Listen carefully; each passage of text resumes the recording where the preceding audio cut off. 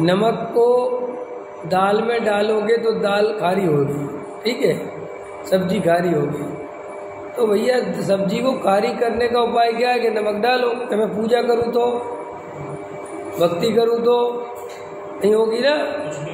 ऐसे ही मैं कौन हूँ? ये जानने के लिए भगवान की पूजा काम आने वाली नहीं है।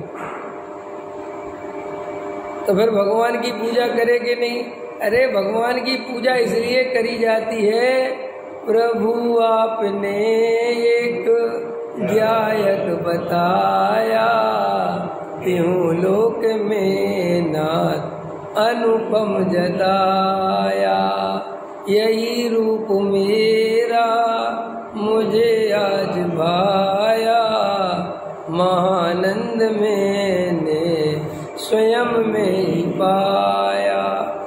जैन धर्म में पूजा करने का जो कारण है भगवान की, वो ये कोई कारण नहीं है कि तुम भगवान कुछ लेते हो, देते हो, मुझे सुखी कर दोगे? है ना? तुमने मुझे पैसा दे दिया, तुमने मुझे मकान दे दिया, ये जैन धर्म के भगवान नहीं है। है? अनुपम जताया, माने आनंद लिया, आनंद हुआ। समझ में आया कि नहीं आया? हम आपका बहुत बहुत आभार जताते हैं।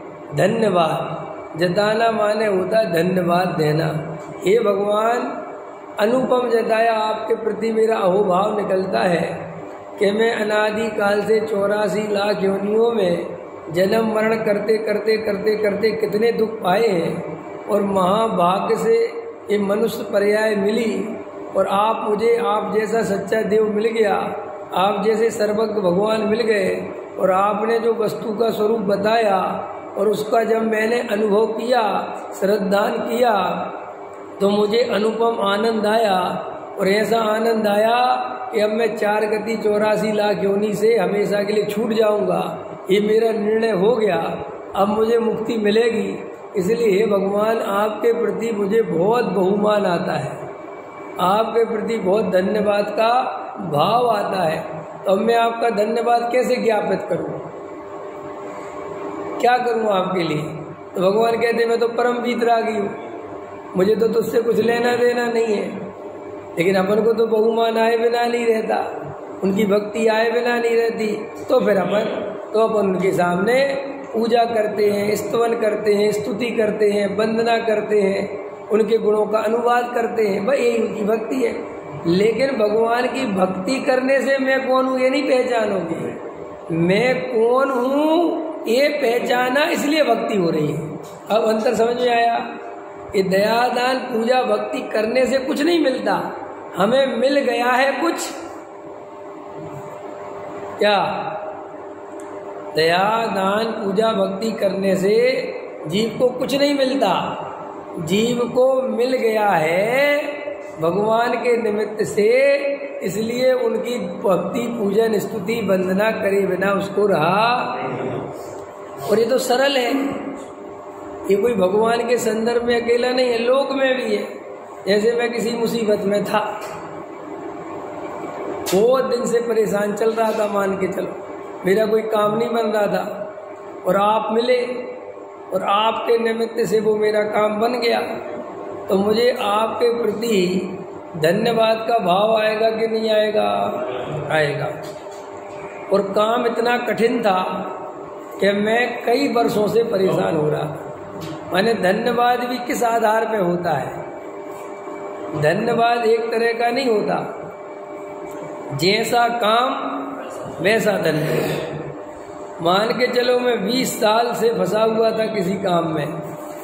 और आपके द्वारा, आपके निमित्त से वो 20 साल से जो काम अटका था वो बन गया। तो आपके प्रति धन्यवाद का भाव अलग टाइप का आएगा। और एक धन्यवाद ये भी होता है कि मैंने एक गिलास पानी मांगा, आपने दे दिया और मैंने कहा धन्यवाद, एक धन्यवाद ये भी होता है। लेकिन दोनों धन्यवादों में अंतर है कि नहीं? है ना? है? समझ में आ गया? कि समस्या भी बताऊँ। मान के चलो एक आदमी 25 साल से किराए पे रह रहा। और किराए के मकान में बहुत परेशान हो रहा बेचारा। और उसके पास 20 लाख हैं। और मकान आ रहा तीस लाख का। और तुमने उसको दस लाख रुपए दे दिए कि जब हो जाए जल्दी देना। तो वो जो तुम्हारे प्रति धन्यवाद से भरेगा, वो अलग होगा। क्योंकि बेचारा पच्चीस साल से परेशान ठीक है? तो अपन चौरासी लाख योनियों में जन्म मरण करते आ रहे हैं। निगोद से इतनी लंबी यात्रा है कि उसकी आप कल्पना ही नहीं कर सकते। इतने दुख सागर में गोते खाते खाते आया हूँ और यहाँ आके महाभाग्य से जैन कुल में मनुष्य पर्याय में जन्म मिल गया। ठीक है? और सच्चे देव शास्त्र गुरु मिल गए। और सच्चे देव शास्त्र गुरु के निमित्त से जो चौरासी लाख योनि का जन्म मरण का चक्र है, उसके नाश करने का उपाय समझ में आ गया। निगोल से बचने का मार्ग मिल गया। तो अब जिनके निमित्त से वो रास्ता मिला है, इतने दुखों से छूटने की जो कुंजी मिली है, अब उनके प्रति बहुमान आएगा कि नहीं आएगा? बस वो बहुमान का नाम है स्तुति, पूजन, भक्ति। समझ? वंदना।